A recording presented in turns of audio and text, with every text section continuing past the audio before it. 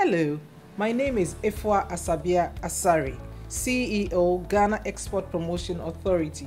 I invite the youth, especially women, young girls, entrepreneurs, to come to the World Export Development Forum in Addis Ababa in November 2019. It's going to be super.